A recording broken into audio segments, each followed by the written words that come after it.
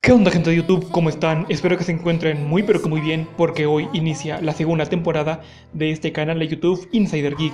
Vamos a arrancar con todo con el review de uno de los juegos más esperados por parte de Gameloft, Asphalt 9 en su versión para Windows 10. Esto es la segunda temporada de Insider Geek.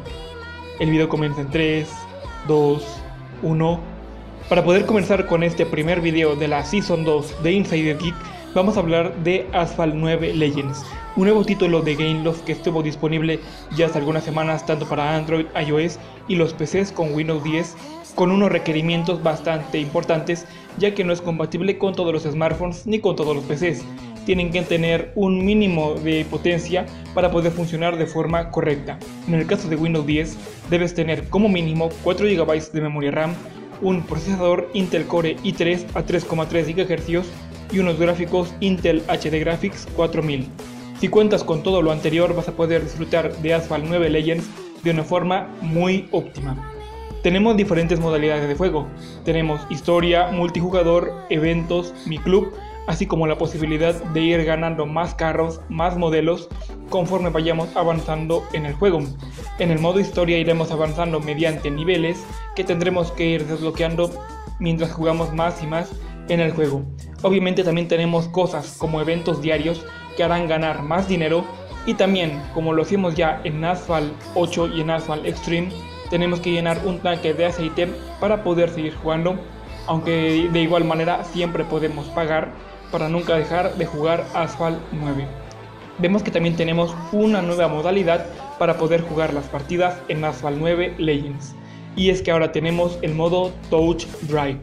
Este modo Touch Drive es digamos un modo fácil para los que recién inician en esta franquicia, pero lo puedes desactivar sin ningún tipo de problema para tener el juego clásico de Asphalt 8. La verdad una novedad bastante interesante y que aunque la tengas activada no le baja calidad a lo que digamos sería la experiencia de juego, ya que sigue siendo bastante pero que bastante buena. En cuanto a gráficos, es notable el crecimiento que tuvo esta entrega con respecto a Asphalt 8, ya que los paisajes y los carros lucen muchísimo más realistas. Ahora entiendo por qué piden tantos requerimientos en cuestión de hardware, ya que la verdad los gráficos son de lo mejor del título, de los mejores gráficos que hay en un videojuego para smartphones. La verdad que no te va a dejar con mal sabor de boca y también la interfaz, pese a ser muy similar a la que ya teníamos en Asphalt 8, la verdad que es intuitiva y funcional, que es lo que buscamos cuando elegimos un título. Lo mejor de todo es que la interfaz funciona de forma correcta, tanto con pantallas táctiles, en pantallas pequeñas, como en pantallas no táctiles y que tienen que ser usada con un teclado y un ratón. Este digamos sería mi análisis a Asphalt 9 ¿Qué calificación le daría? Pues yo le daría un rotundo 9. Se ha ganado un bien merecido 9 ya que tiene buenos gráficos, buena banda sonora, una excelente interfaz, diferentes modos, pero eso sí, la más clara desventaja es que siempre tendrás que estar conectado a internet para que puedas sincronizar los datos de tu juego local con la nube, ya sea en tu cuenta de Google, en tu cuenta de Facebook o en tu cuenta de Microsoft.